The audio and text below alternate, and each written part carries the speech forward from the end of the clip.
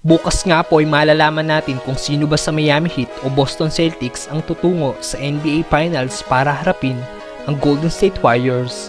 Pero masamang balita nga po para sa mga Celtics fans dahil ayon sa injury report na inilabas ng Boston ay questionable ang dalawa sa starting five ng team na sina Robert Williams na may left knee soreness at ang depoy na si Marcus Smart na may right ankle sprain. Questionable meaning 50-50 pa sila mga brother. Malaking impact ito para sa Boston kung hindi makakalaro ang dalawang player na nabanggit, lalo na si Smart dahil sa depensa nito. Kailangan ni na Jalen Brown at Jason Tatum na gumawa bukas at pigilan gumawa ng isang 40 points output si Jimmy Butler para makuha nila ang panalo. Pero baka pilitin ring maglaro ni na Smart at Williams mga brother, lalo na't isang hakbang na lang ay nasa NBA Finals na sila. Samantalang Kevin Durant, iiwan daw ang Nets kung sakaling hindi pumirma ng kontrata si Irving.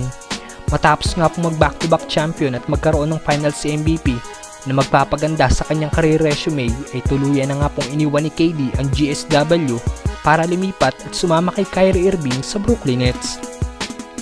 At ngayon sa dalawang season na paglalaro na magkasama ay hindi pa nga po nagagawang makaabot ng team sa NBA Finals. At ngayon may lumabas nga pong report na iiwan na daw ni Durant ang Nets kung sakaling hindi pumirma si Irving ngayong darating na season dahil may player option nga po si Kyrie kung gusto niya pang bumalik sa Nets. Ayon din sa report ay wala na daw sa plano ng Nets na bigyan pa ng malaking kontrata si Irving dahil sa unreliability nito. Kung sa usaping talent lang, isa pa rin si Kyrie sa pinaka-explosive guard sa liga na kaya magbigay ng malaking punto sa team. Abang na lang tayo ng mangyayari ngayong off-season mga brother. At para sa ating huling update, Andre Iguodala may record history na nagawa. Isa nga po sa pinakabeterano na sa liga na naglalaro pa rin hanggang ngayon ay si Andre Iguodala.